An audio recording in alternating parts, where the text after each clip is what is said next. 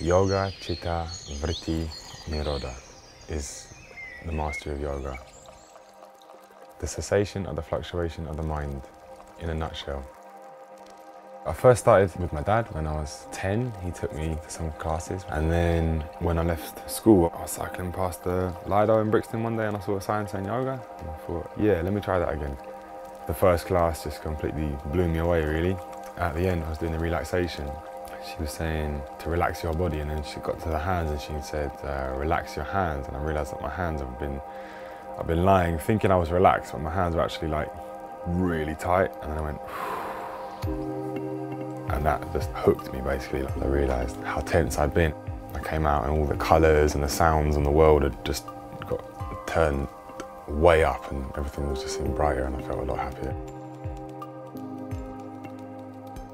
I was at Glastonbury Festival and I took mushrooms. And it was the first time I'd ever had an experience of being watched by something, God, universe, all different names people give it, sending just unconditional love to me. So that was, was like a really clear moment in my life. And then the next day I could see like my ego, my mind and my thoughts were in front of the real truth. I said, okay, the plants can show you what's available, what is at the top of a mountain. Then everything I'd learned already about meditation and yoga, this is the step-by-step -step path to be able to climb the mountain.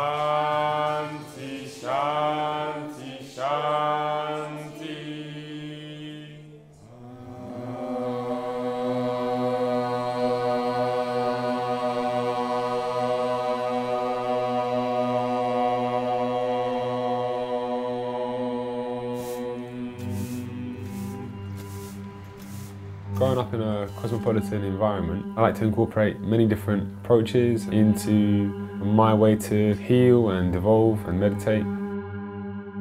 My art is something I've done my whole life and I didn't know what I was doing. I was just churning out these drawings and these pictures and these paintings.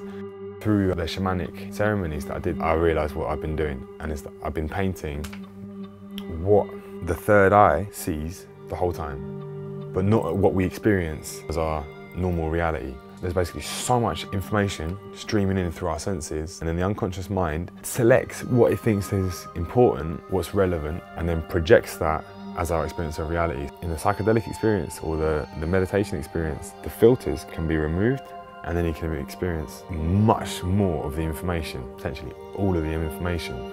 When I'm painting, it's a way to have a psychedelic vision, but without being on a psychedelic plant. Ah.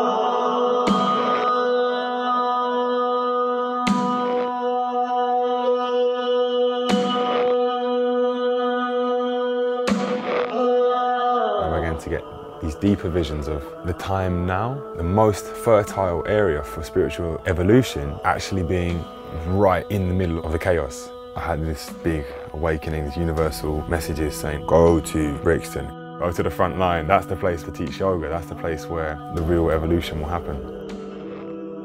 Yoga essentially is like thousands of years old from the Himalayas and it's the ocean of knowledge. The challenge we've got now is to apply it into modern day setting. So Brixton in 2016 is so different from the Himalayas in 3000 BC, you know? So it's that how to live the, the truth of that way, of that lifestyle in a modern urban environment. Yoga makes me feel ultimately bliss. When I really put my whole spirit into it, I get a, feeling of, of peace and calm, oneness, awareness, can make you feel all things. It's a journey, really.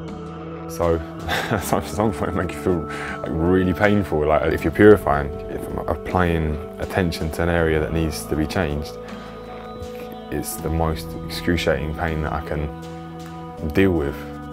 But that's the ground for the evolution. That's where the change happens in that in that field. pain.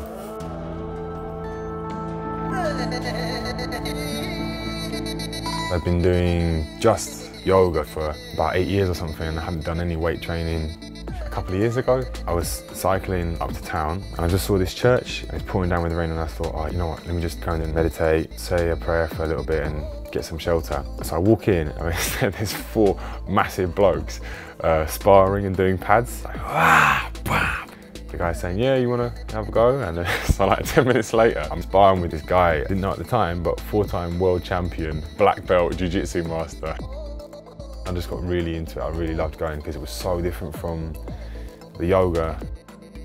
Same time I found block workout at the Brixton Street Gym and got really into my weight training. It was the way to ground myself, practice like the urban avatar and you know, be tough as well because front line is hard.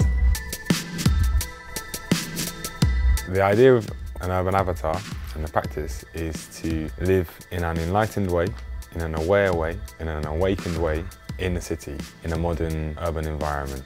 An avatar is your physical vehicle in a realm. Like when you play a computer game, you can take control of the avatar and you control the avatar in, in that dimension, in the, in the game.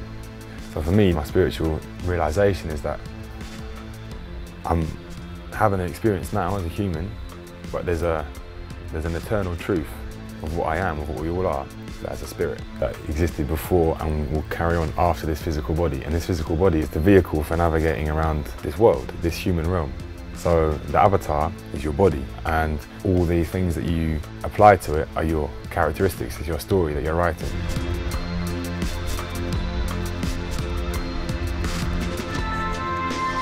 Helping other people, I get joy. In a way, I get their joy. I get a feeling of their good feeling. Because I know what it's like to have felt bad or weak or whatever. And then people have helped me to feel stronger in myself. And when I help someone else do that, I can get a feeling of the good feeling that they get as well. Like a smile, a laughter, and you know that that's someone who's going to go out and be, you know, good for their family as well. And you know, like a ripple effect like this, serve the world like that. It's about living in that same connection, that same awareness with nature, but right in the middle of the concrete jungle.